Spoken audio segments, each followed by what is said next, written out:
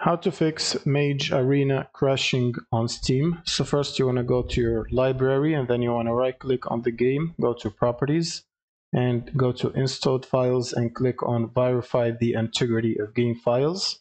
And once this is done verifying the files, you can click on browse and it should open up the installation path or folder now you want to right click on Mage Arena exe file, go to properties and then compatibility tab and make sure to check both of these options right here. Then click on apply and OK. Now you can close this folder and go to the general tab and under launch options you want to write dash dx11 like this.